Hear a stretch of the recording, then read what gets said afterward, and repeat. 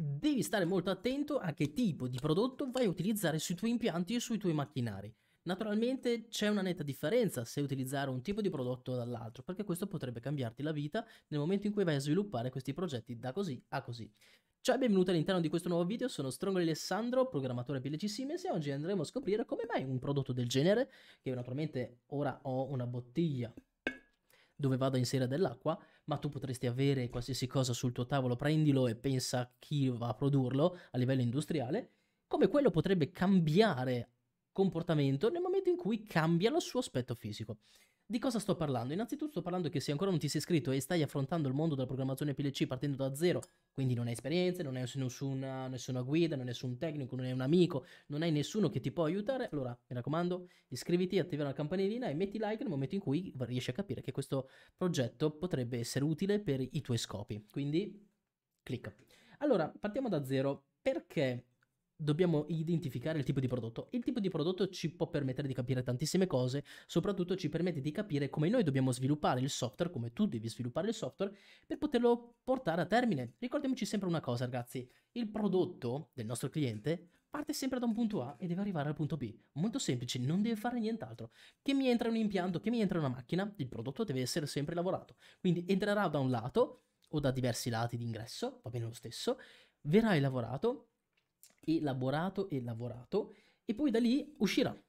Questo poi dovrà andare a o al cliente finale o andare ad altri impianti intermedi che dovranno fare ulteriori lavorazioni sul tipo di prodotto. Naturalmente ogni impianto ha i suoi pro e i suoi contro, casomai fanno cose specifiche, invece ci sono impianti che fanno tutto insieme e va benissimo.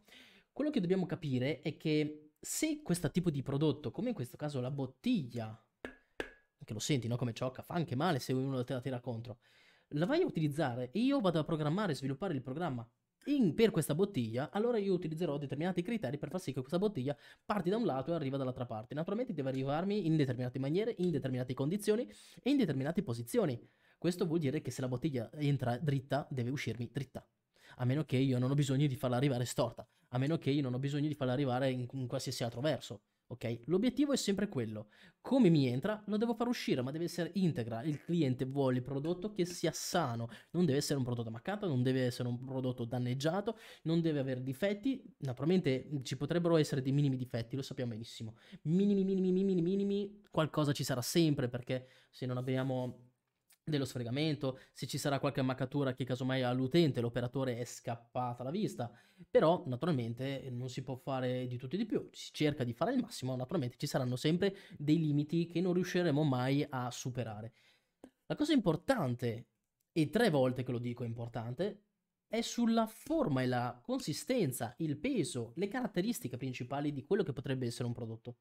Se noi andiamo a ipotizzare non tanto la bottiglia ma anche un qualcos'altro, per esempio, andiamo a ipotizzare un tank, un tank dove, un contenitore, se uno dovesse sapere cos'è un tank, una cisterna dove all'interno io vado a eh, rilasciare e a versare o riempire con del liquido. Il liquido potrebbe essere caldo o freddo. Ecco, secondo te questa qua potrebbe essere una differenza?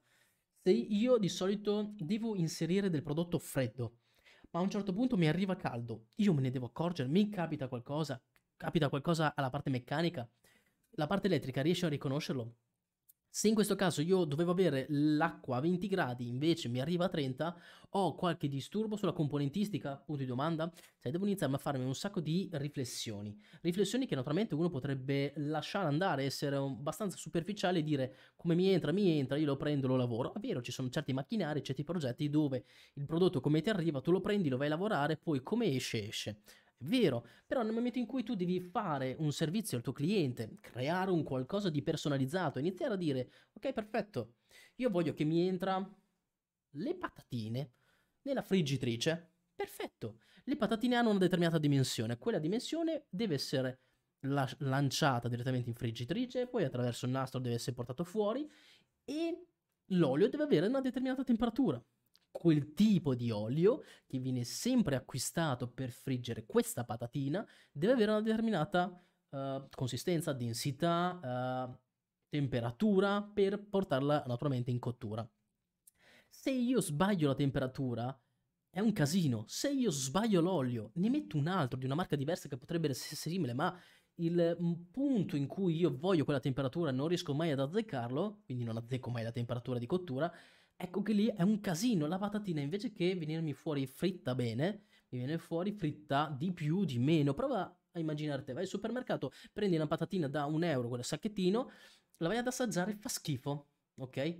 Non perché la patata faccia schifo, ma perché casomai la sua lavorazione in mezzo è venuta malissimo. Questa è stata colpa di chi? Di colpa del cliente che non ha preso il materiale giusto? Sì, è vero, da un certo punto di vista potrebbe anche starci, ma la tua strumentazione riesce a capire il perché quell'olio non era perfetto o perché non era in temperatura. Quindi qui dobbiamo innanzitutto capire di chi è il problema, ma non per puntare il dito, ma per trovare delle soluzioni. Quindi se l'olio è stato cambiato, perché tu a programma non l'hai portato allo stesso a temperatura? Non ti sei assicurato che la temperatura di cottura sia quella nel range prestabilito e invece tu sei andato in cottura subito con le patatine fregandole perché avevi della produzione da fare? Se uno va a produrre quintalate quintalate, tonnellate di patatine e lo va a smerciare in uh, tutta Italia o in tutto il mondo, è un vero casino. Quando le cose sono fatte male e poi si disperdono e in più sono state vendute perché qualcuno le ha acquistate per forza di cose, dopo ti trovi la roba che ti torna indietro e un cliente incazzato tanto che ti fa un bucio di culo perché naturalmente non sono state rispettate certe direttive. Ma naturalmente lui lo dava anche per scontato perché uno dice se ti dico di andare a 70 gradi, sparo un numero a caso, e tu eri 71, 70,5, ok? Se devi essere lì, devi cercare di essere lì. Naturalmente ci sono dei pro e contro, ci sono dei limiti, l'ho sempre detto, lo dico sempre, ci sono certi aspetti che si possono prevedere, prevenire e si riescono anche a curare, ma certe altre cose non si riesce a risolvere. A livello di programma bisogna lavorare su determinate caratteristiche, casomai che il programma non c'entra niente. Cambiamo materiale, cambiamo l'aspetto meccanico, cambiamo l'aspetto elettrico, quindi dobbiamo far sì che questi elementi possano cooperare, cooperare, collaborare fra di loro e non essere in competizione.